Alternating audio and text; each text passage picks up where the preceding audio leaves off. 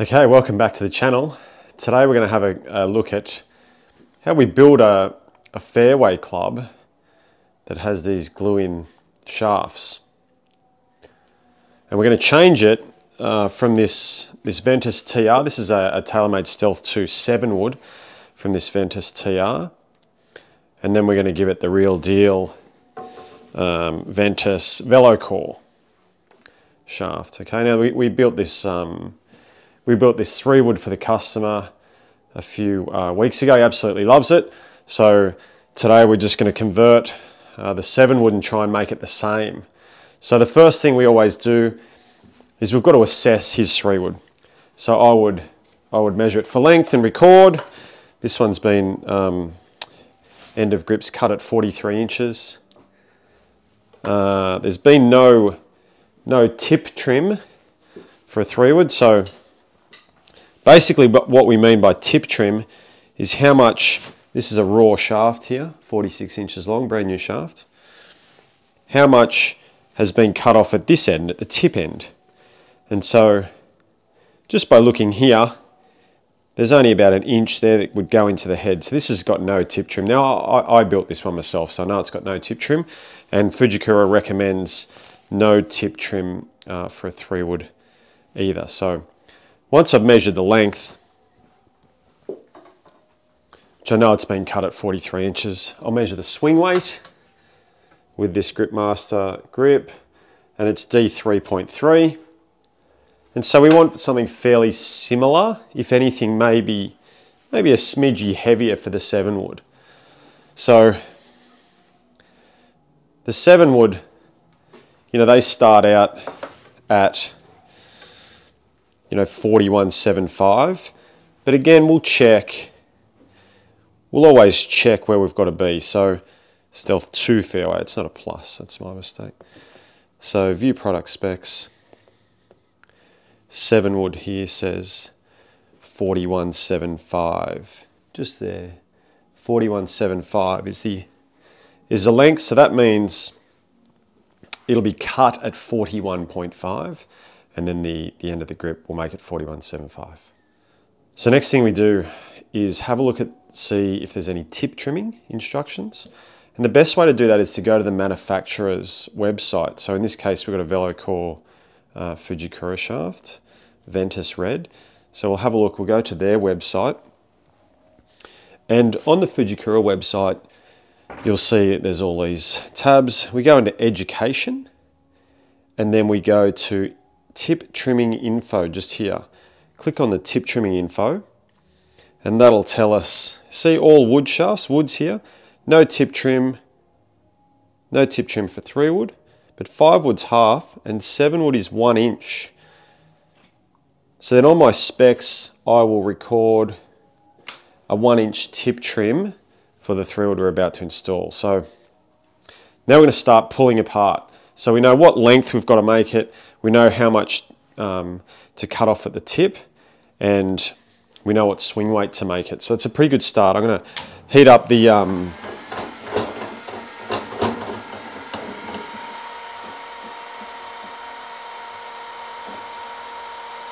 Got to get that on the right setting there. What I like to do, I don't, I don't like to try and save ferrules or anything like that, so I'm going to first I'm going to first melt off this small piece here, which is the ferrule, in between the hosel and the shaft.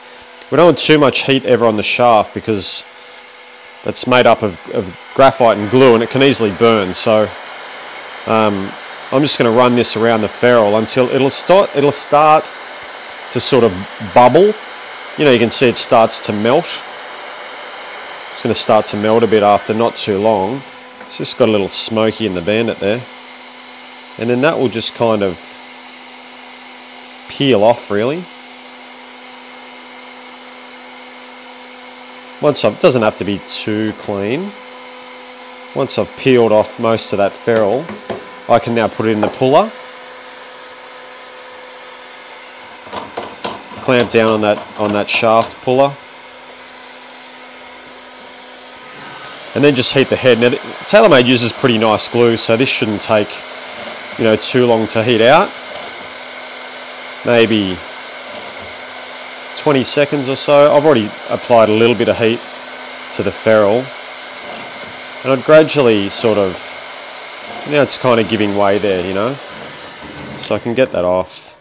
And then I'll just go the rest by hand. Now, all these pullers do is ensure that the, the head comes off you know, it comes straight out. I'm just going to, I mean, I wouldn't recommend picking this out with your hands, but anyway, I'm a big boy.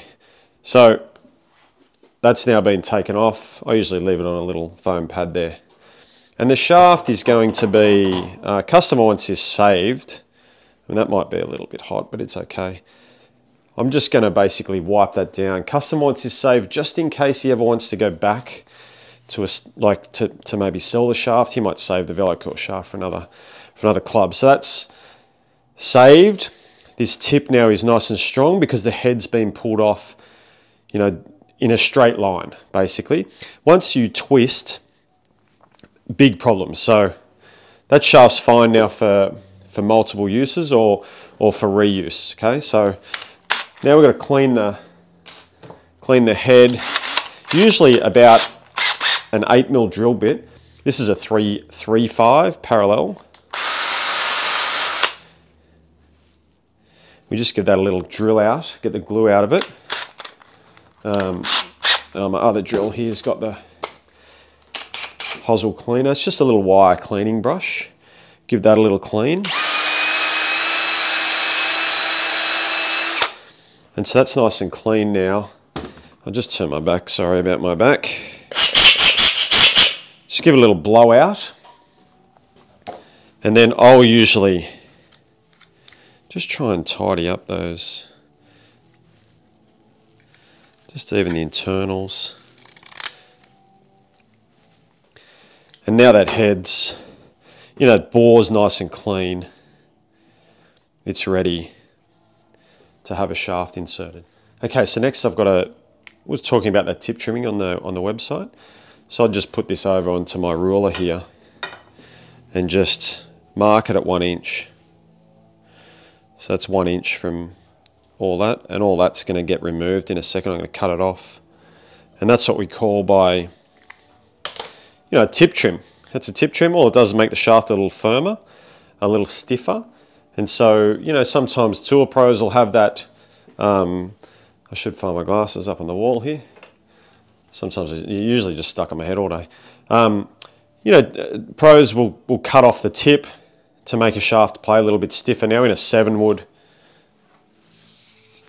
we want that shaft to play a little firmer to play the same, the same flex. So for example, your 3 iron shaft is a bit softer than say your 4 and then your 5. They, sorry, they get a little stiffer. That's my mistake. The 3 irons is the softest one. Then they get gradually stiffer as the club gets shorter. So the same thing happens with the woods.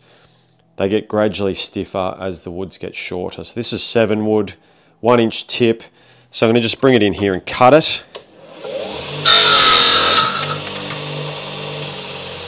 So that's cut that little bit of tip trim off, that little tip off. And now I'm just going to prep the shaft in here.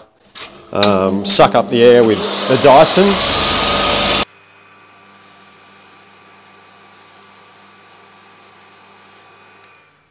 All right, so when we tip trim the shaft, we just take the paint off we don't want to take too much off because then that, this section gets too narrow and it, and it, it'll jeopardize the integrity of the tip. It might break. So I see that a fair bit where people have been a little bit overzealous or a little bit excited about, you know, making sure the paint's off. So the next step for me is to put that shaft all the way in as deep as it can go, leave my finger there, and that tells me the bore depth. Now I'm going to sort through my little knockers, and I'm going to find one that leaves a tiny bit of the shaft exposed there. And I'll explain why I do that in a minute. So I get my little T, oh, uh, my little T. This is a little ferrule I'm going to use, not very big. It's quite a small ferrule. The TaylorMade's have got pretty small ferrules. And I'm going to get that onto the shaft. And then use my knocker. So I've got, I've got shaft, little knocker here. And the knocker will basically just knock ferrule down. So it just goes down to a certain depth. Now because of this knocker, I know that when I put that in, there's actually going to be a tiny, tiny little bit, you know, maybe only two millimeters, there'll be a tiny little bit of room in the bottom here. And what do we do that for? We do it to allow for a swing weight, if I need it. If I need to add weight in this end, I can't just jam the shaft all the way in and then go to put a swing weight in and all of a sudden the shaft, you know, it'll sit out like such because the weight's got a little bit of a head on it, if that makes sense. So we never ever insert shafts in any build, in this workshop anyway. I never insert a shaft all the way to the bottom. That's amateur hour right there. Right, so every manufacturer will have a ferrule depth. We call that the ferrule depth. They'll all be different. Everyone manufactures different. I mean, every bore, this is the bore, the section that goes down there, down through the club, we call that the bore. So every bore is different. Every recommended ferrule depth is different. And quite often when you take the shaft, you know, the, the, the club out, you can get an idea of how deep it was based on the ferrule length and then your knocker length, right? So there are little things you can figure out. Now, this is nothing new, but that's certainly what we do here. So now I've got the, the, the tip section ready to go. I need to now get the butt section ready to go. So now I've recorded that I needed to cut this, cut the shaft at 41.5. So get it in here, make sure it's straight. 41.5 on the ruler is cut there. I'm going to take it away. I'm going to pull it apart. I'm going to make sure my rulers, I'm a bit OCD about these things, but I, I just want to make sure it's right. You know, measure twice, cut once. It's right on 41.5 and I'm going to go and cut it to length. I clamp it in there on, on the cut line.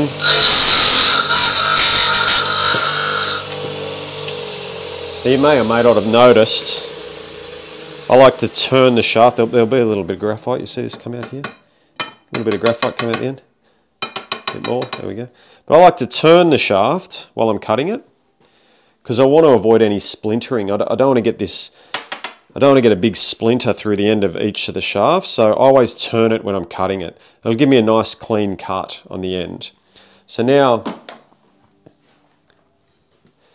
The next step will be to swing weight. All right, so the choice of um, grip here. Now, some people might ask, why, why is he playing 6S? This is custom request. He didn't want to go heavier, so we're going to go 6S, the same as his 3 wood. We're going to try and match up these builds as best as we can. So I'm putting it on the swing weight scale. The customer has chosen the signature black standard Cabretta grip. Now this is a beautiful grip. It's actually quite thin. It's quite light. Gripmaster leather. Um, nice red stitching at the back, like almost like an Align grip, but it's sticky. I don't know if you can put it up here near the microphone. You probably hear that stickiness, beautiful and sticky. Super soft cabretta, so that's like a, a sheep, sheepskin, like your, your gloves. So beautiful grip, love this one. Um, so what we do is we get it on there dry, okay?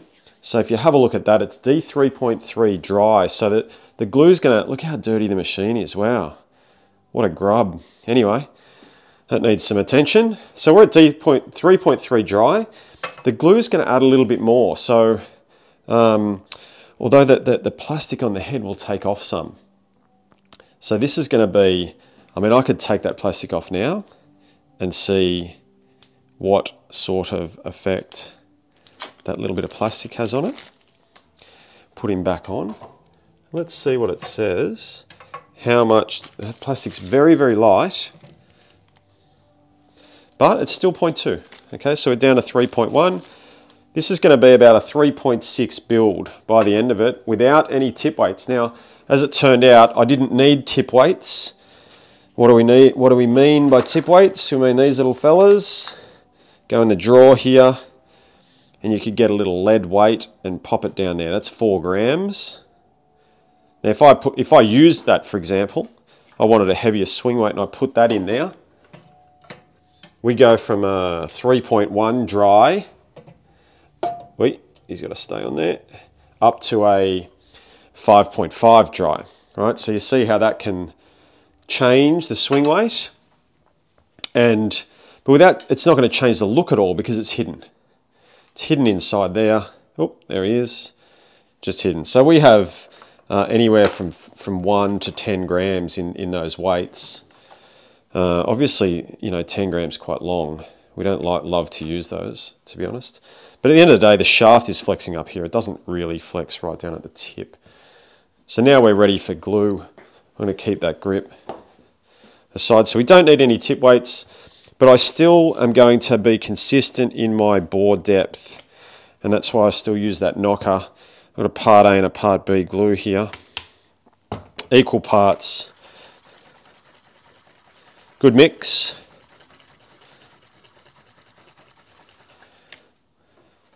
And then you don't, I mean, you don't need heaps of glue. I suppose you're better off with, you know, too much than not enough, but I just put a little bit in. Give it a good swirl. Not heaps in there. I might just dab a little bit more in. I mean, my mix is, is overboard. I don't need that much on the mix. A little bit on the shaft.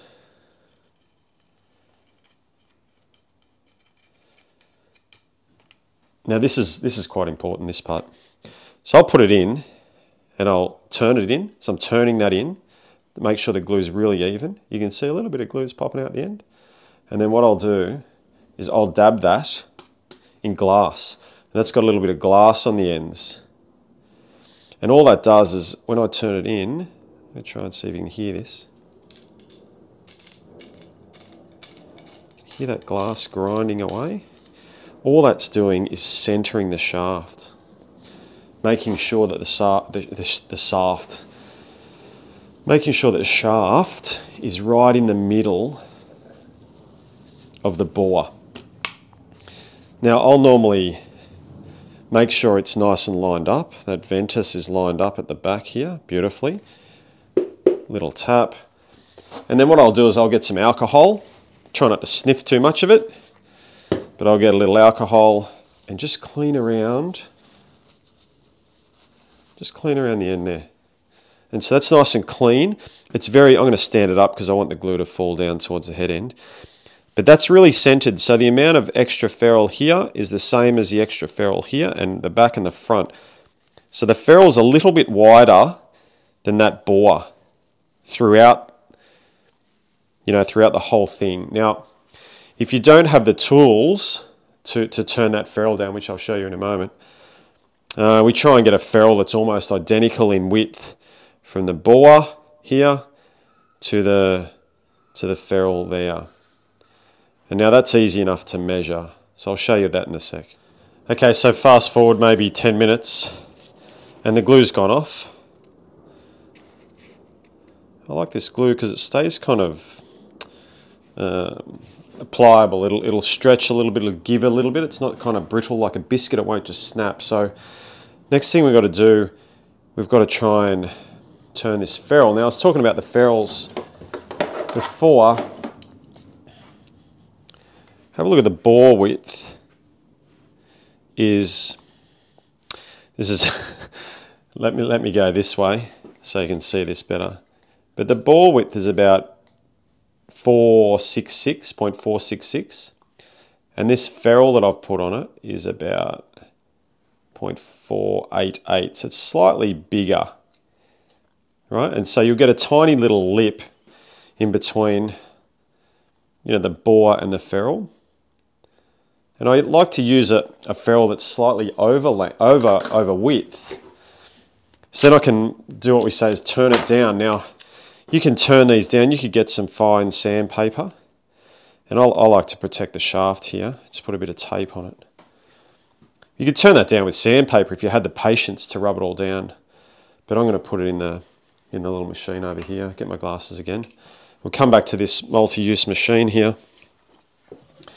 And basically this belt here is like a hard cloth and it's going to turn that ferrule down. So I'll turn that on. Goes through there and then I protect the shaft here because I don't want that belt touching the shaft. It's just going to take the paint off and it's pretty much, it's not ruined, but it'll look horrible. And as I turn that down, it's you can probably just see that little bit of ferrule fell off.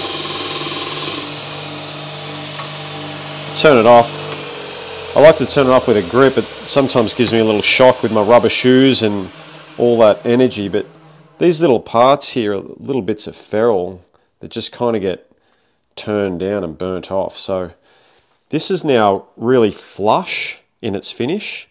It's perfectly flush. I'm going to take off the tape.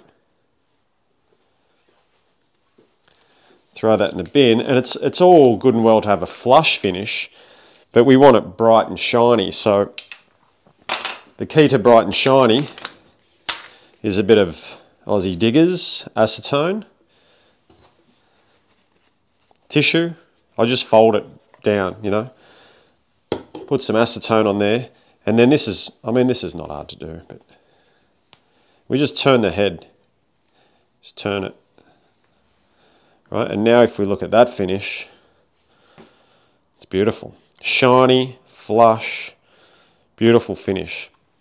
And all we've really got to do now is put the grip on. So with a Gripmaster, these are leather grips, they're the best grips. They're so sticky, like I said. But there's a thing called an underlisting here. And so this rubber at each end it's covered by the leather. So there's a really, really thin rubber internal section. It's so thin. So we can't have any burrs on the end of the shaft. This has got to be really, really clean. Now after I've cut it, I don't want to sand it. A steel shaft I could sand down. So the best idea for, for a um, graphite is just a little bit of tape. Run the tape over the end. And then just push it in. I mean, now I've got, you know, the tape protecting that. Okay, so grip is going to go on next. I would normally, I mean, I normally, you know, just mark roughly here and roughly, you know, the end of the grip and put a little black texture mark on there. So we know, you know, it's got a black texture mark. So we know how much um, double-sided tape. Now there's multiple ways to put on a grip. I like to just use double-sided tape with a gripping solution, which is non-toxic, non-flammable. Um, so put the club in the little vise here. Make sure it's not overly tight. If you tighten up too much, you're going to break a shaft. You're going to clamp it, you're going to squish it, no good. So I'll get out my bit of double-sided tape and then I'll start it on that little marking that I made with my texter. Start it there. And you'll notice, mate, it's just past the end there, probably a centimetre. I got lucky with my pull then, but I, but I have done a, a few grips, so you get used to how far out to pull the tape. Make it nice and flat. Do it the same on the other side. So double-sided tape's covered. Now, with the end here, we actually don't want to like let any solution get down the shaft. So that's kind of crimped tight and it's sealed off the end. Because the last thing I want is gripping solution going down that way. It's not ideal. So with, with Gripmasters, be liberal with the solution. I'll usually fill it, as you can see there, put it on, and fill it again. Might as well. You fill it three times if you want. More is better than less, right? because these can be a little bit tight. We've got to push them on straight, otherwise you'll nick the inside of that underlisting. Okay, so it's on all the way. I can tell it's on all the way. I'll check underneath first because this is a very ribbed grip. So, but I'll take that off and, and show you in a sec. I'll take it out, make sure there's no solution coming out the end. I mean, if you're paranoid about how much you've, you've put it on, well, that looks great there.